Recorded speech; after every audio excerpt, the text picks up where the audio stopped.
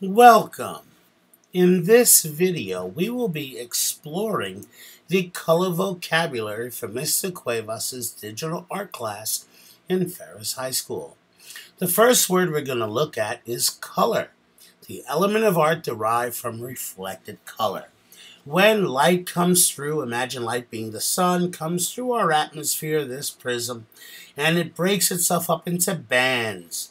And these bands break up into what you would call a color spectrum or a rainbow. So the element of art is, a, is an element derived from reflected light. Pure light is white, it breaks up into bands, and this is what we call color. As I said, it becomes a color spectrum. Word number 13 here is color spectrum. White light is bent and separated into bands of color. Let's look at an example for number 13. When I look at this here, I notice that there's a band here in the Photoshop application. And this band is in fact the color spectrum. I share this because it'll be important to us as we select colors throughout the semester. You'll be click on a color picker and you will then look at the spectrum, select the color from the spectrum and make a choice. The next word on our list is monochromatic. Monochromatic is a color scheme that uses only one hue. One hue, the word means color family. So the hue here is the color blue. So a color scheme that uses one hue. So you notice there's light blue, there's dark blue, there's middle blue, and there's dull blues and bright blues. And so that's one hue, and we call that monochromatic. This is another example of monochromatic just values of green, and this is an example of monochromatic. You're going to see this image a lot, and you're going to make it yourself. The next word is primary colors. We're defined here as red, yellow, and blue. And red, yellow, and blue are the three most basic colors that you can have through pure light. When you break it down to red, yellow, and blue, when we mix those three colors, we can make every other color in the spectrum. Starting with making the secondary colors. So the primary colors, here's a color wheel, which we'll talk about in a moment.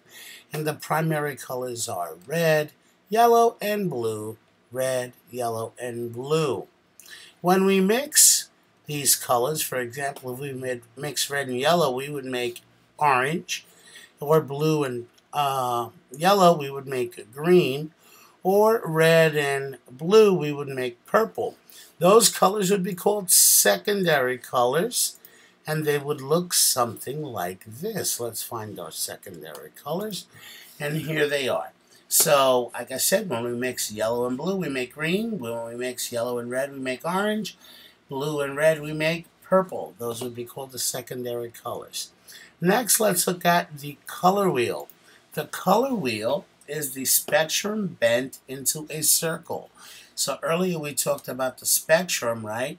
Taking us all the way around, uh, taking us through the image. And now when we take that same spectrum, which we saw here, and we bend it into a circle, we wind up creating the color wheel. And this is what it would look like. Let's continue. Hue. Hue refers to the family of color. So here's a great example there are two different greens here. But you notice I said greens. They both belong to the family of green, but they're not exactly the same. Their hue is green.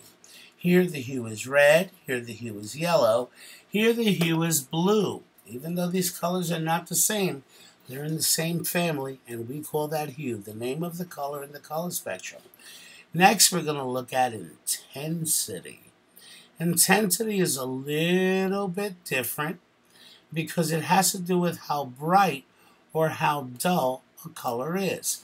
So here we look at that color picker again. You notice here that the red is very bright. On this side of the page, it's the same value, but it's duller. And we go down here, and it's, you know, dull. It becomes, the red goes from bright to gray. So that's what we refer to as intensity, the brightness or dullness of a color. And the next word here is value, the element of art that describes the lightness and darkness of a color. A color up here would be light, a color down here would be dark. So light and dark. So we have light and dull, we have light and bright, and then we have uh, dark and bright and dark and dull. So we can have light colors with bright intensity. We can have dark colors with bright intensity. We can have light colors with low intensity or bright intensity. The next word we want to look at is the word called shade. And if you take a basic hue and you add the color white to it, you start, excuse me, the word tint, you add the, the color white to it, you start to make tints. So a little more white makes it lighter and so forth all the way down. If you add black, you'd be creating shades, and shades would look like that. The next words we want to look at is colors opposite each other on the color wheel. Those would be complementary colors, and when we click on the color wheel, you'll notice if you have red, the opposite of red would be green. That would be the opposite on the color wheel. If you had yellow, the opposite would be violet. If you had blue, the opposite would be orange. So those are the colors that are opposite on the color wheel. And let's look and see if we have some examples of colors that are opposite on the color wheel. So you know, well, one, let's look at the color wheel here. We see the opposites. Here we see an example of the color of a painting. So here, blue and orange, strong image. This is the image we'll be making in the future, and you can see we have the green against the reds. And again, this artist has painted a flower with complements green and reds. After analogous, after complementary, we look at analogous colors. And analogous colors are colors that sit side by side on the color wheel and have a common hue. So here we look at yellow and green. They sit side by side. The common hue they share is yellow. Here we look at green and blue. They share the hue of blue. Here we see red and purple. They share the common hue of red. And so let's look at examples. Here we see analogous composition. Blue and green are next to each other. Blue and purple are next to each other.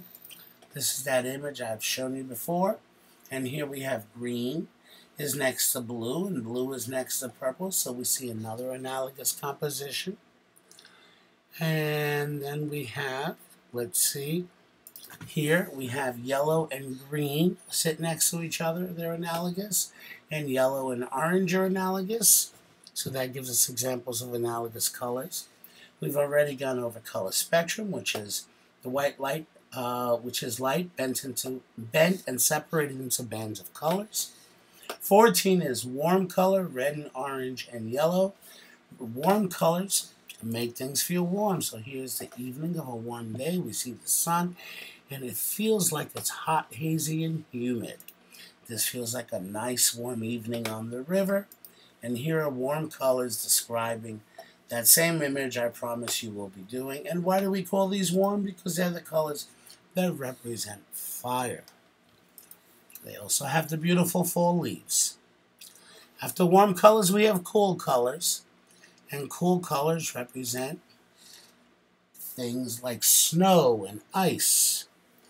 And so cool colors are white light, excuse me, are blue, green, and purple. And as we explore here, here's a Picasso painting done in cool colors. Here's more of nature in the winter with cool colors. And this is an artist sharing cool and warm colors juxtaposed side by side, creating this very uh, intense composition of warm against cool.